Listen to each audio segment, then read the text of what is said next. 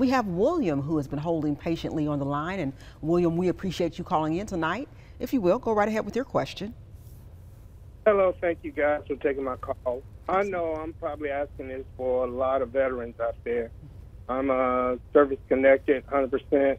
And I went to buy a house. And you know, with uh, veterans, we get a VA loan or certificate, which we were told is no earnest fee and no closing costs.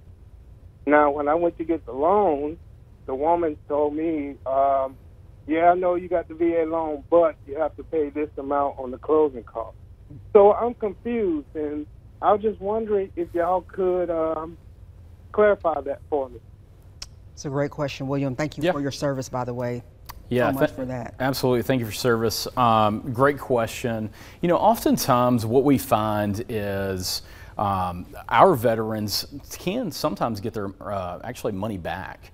Um, typically, there's earnest money. Typically, it's anywhere from 500 to $1,000, but it also depends on what that uh, amount is. But typically, you get, do get that back, um, especially with working with the, the VA and the veterans.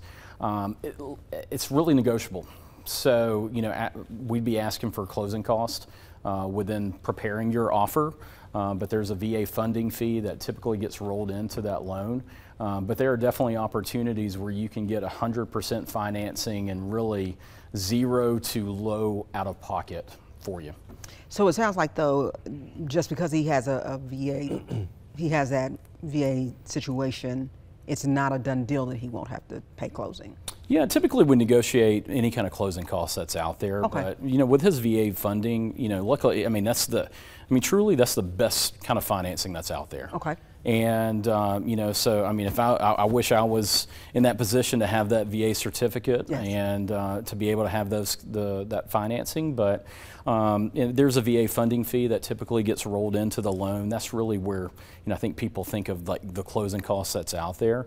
But there's other closing costs that are involved, and we just try to negotiate that in there so that the the buyers, if they you know if they don't have any money out of pocket or just don't want to put any money out of pocket, then we try to negotiate it in so they're they're you know out of pocket at a minimal cost. Okay.